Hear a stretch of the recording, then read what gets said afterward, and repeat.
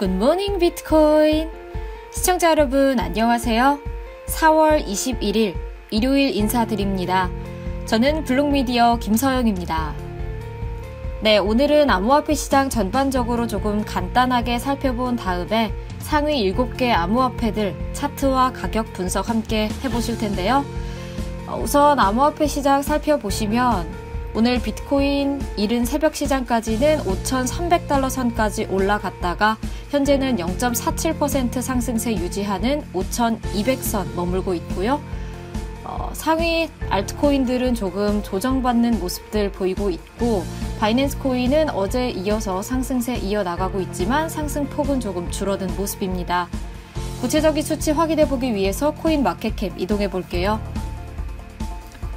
네, 현재 시장 가치 1,796억 달러, 비트코인 점유율 52.1%입니다.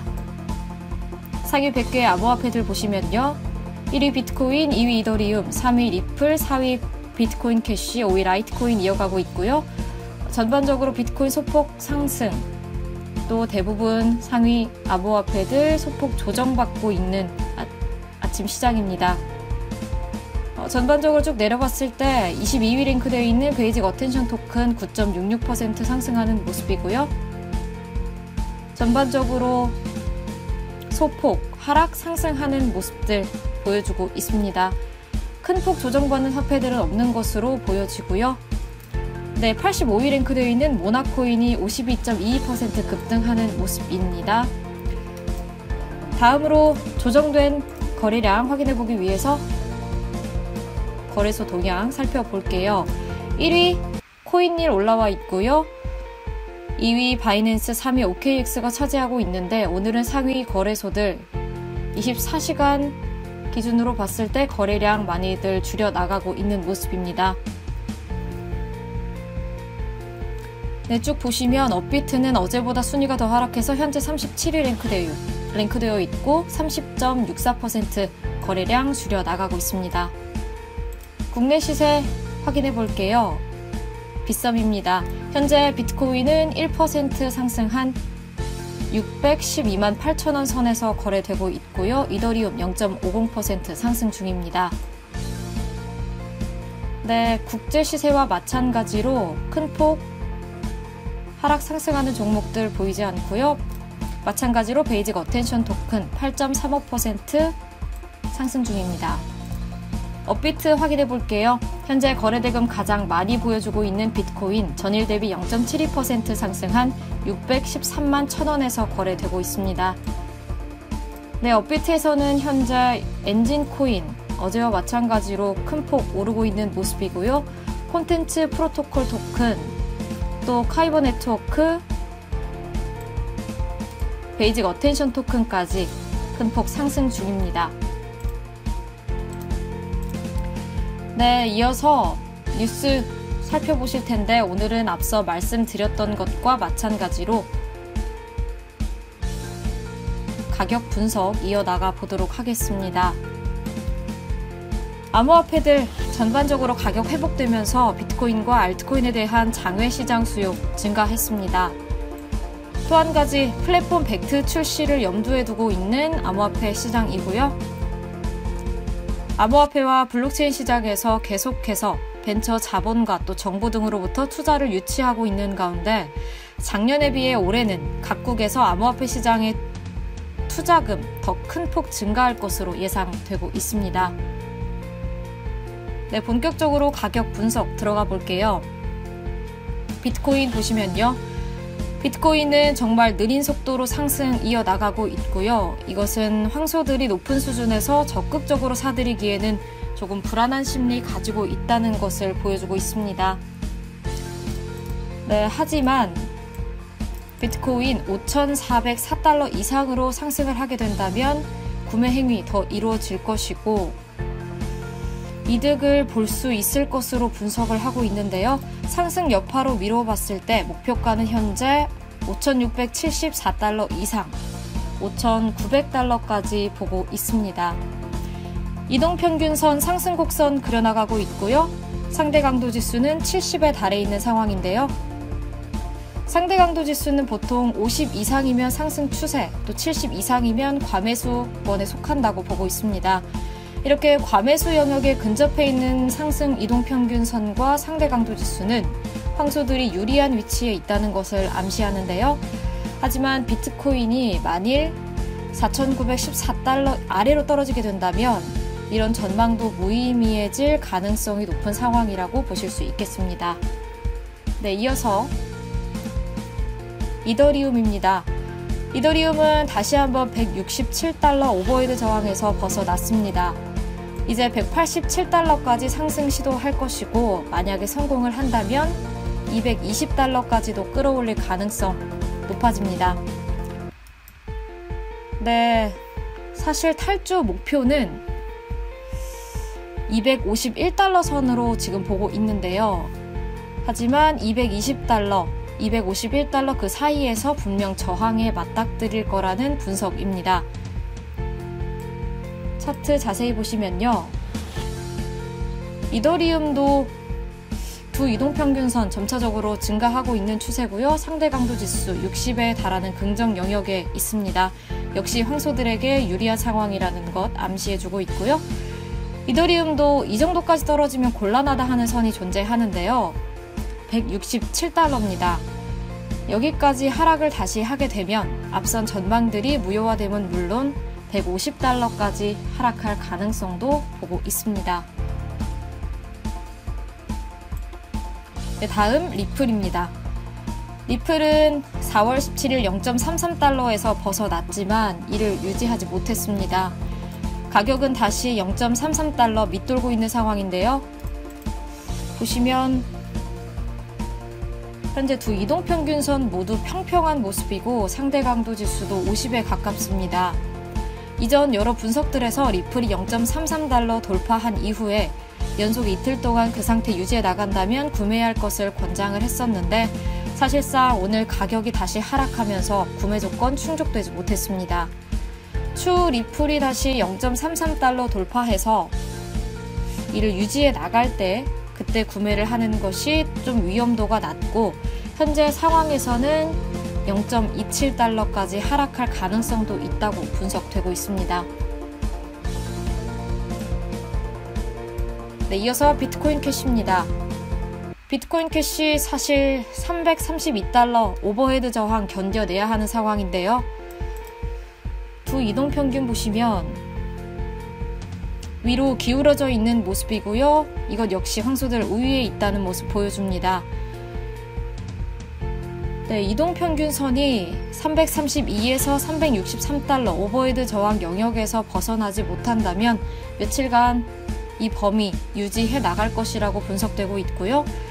20일 이동 평균이 계속 이 범위 안에 머물게 되면 비트코인 캐시 239달러까지 하락할 가능성 있다고 보여집니다. 만일 363달러 목표치까지 돌파에 성공을 한다면 451달러까지 상승을 다음 목표가로 두고 있는 상황입니다. 이어서 라이트코인입니다. 라이트코인 이동평균 점진적으로 상승하고 있고 상대 강도 지수는 중간 지점 바로 위에 위치해 있는데요. 그간 황소들이 지지선을 지키기 위해서 노력해온 모습 보이고 있고 지금 현재 상황에서 봤을 때는 이것이 그들에게 어느 정도 한계가 있음을 시사하고 있습니다. 차트 자세히 보시면요. 가격이 84달러 선을 좀 넘어선다면 overhead 저항이 91에서 100달러까지 빠르게 변화할 것으로 예측되고 있고요. 하지만 만일 예상과는 달리 라이트코인이 74달러 이 아래로 떨어지게 된다면 긍정적 전망 무효화는 물론 62달러 선까지 하락할 가능성 존재한다고 분석됩니다. 네, 다음 이오스 보겠습니다. 이오스는 지난 며칠간 20일 이동평균선 위로 통합이 됐고요. 황소들이 20일 이동평균 이하로 떨어지는 것 허용하지 않았는데요. 현재 긍정적인 상대 강도 지수 또 상, 상승 곡선 이어나가고 있는 모습입니다.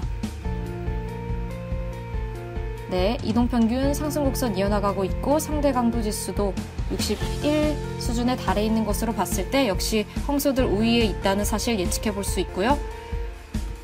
음, 가격 살펴보시면 5.66달러 선 돌파를 하게 되면 6에서 6.82달러까지 가격 상승 내다볼 수 있는 상황이고요. 반대로 이오스가 5달러 이하로 하락을 한다면 3.87달러에서 4.49달러까지 하락할 가능성 있다는 분석입니다. 네, 마지막으로 바이낸스 코인 보겠습니다. 바이낸스 코인 4월 18일부터 급상승하면서 오늘까지도 상승세 유지해 나가고 있는데요. 황소들이 높은 수준에서 사기를 원하고 있다는 것으로 보여집니다. 현재까지의 최고 수준인 26.47달러 선까지 오를 가능성도 보이고 또 차트 보시면 이동평균선과 상대 강도 지수 모두 현재 과매수 영역에 위치해 있는 관계로 사실 저항이 가장 낮은 것이 위쪽 길이라고 보실 수 있겠습니다. 하지만 만약에 방향을 바꾸고 이동평균 아래로 떨어질 가능성 또한 존재하기 때문에 바이낸스 코인이 사상 최고치인 26.47달러 넘어설 것인지 조금 더 지켜봐야 할 것 같습니다. 네, 오늘 준비한 가격 또 차트 분석은 여기까지고요. 이어서 블록미디어 기사 하나 보시겠습니다.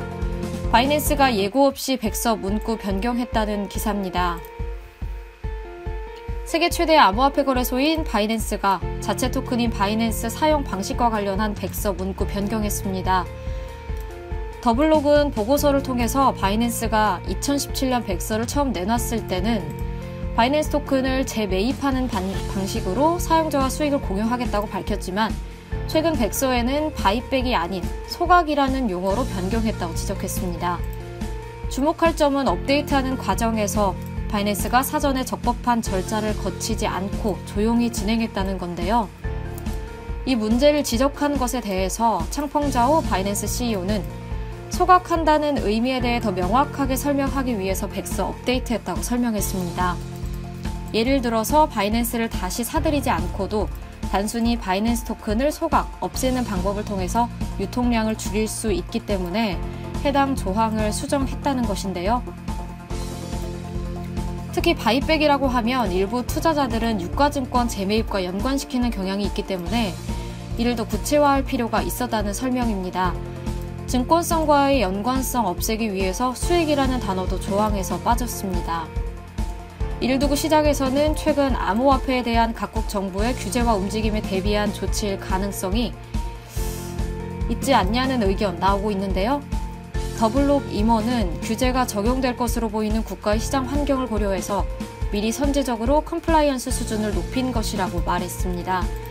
증권 토큰은 규제 적용의 대상이 되기 때문에 이 범위에서 벗어나기 위해서 미리 문제 조항이나 단어를 뺐을 가능성이 있다는 것인데요. 물론 백서 문구가 변경됐다고 해서 바이낸스 토큰에 대한 규제 당국의 해석이 달라질 가능성은 낮습니다.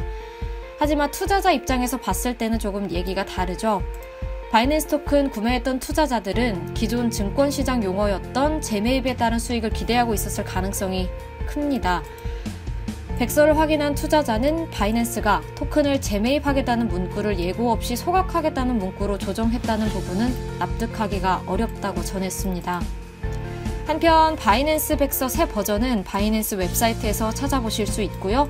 이전 버전과 바이낸스 1.2 버전 사이 모든 변경 사항은 블록미디어 홈페이지에서 찾아보실 수 있습니다. 네, 준비한 뉴스는 여기까지고 마지막으로 옵션 거래소 가격 확인해 볼게요. 현재 4월 비트코인 선물 0.48% 상승한 5,210선에 머물고 있고요. CME 거래소 살펴보시면 1.62% 상승한 5,320선에서 거래되고 있습니다. 네, 마지막으로 암호화폐 시장 전반적으로 다시 한번 살펴보시면 초반과 다름없는 모습 유지해 나가고 있습니다.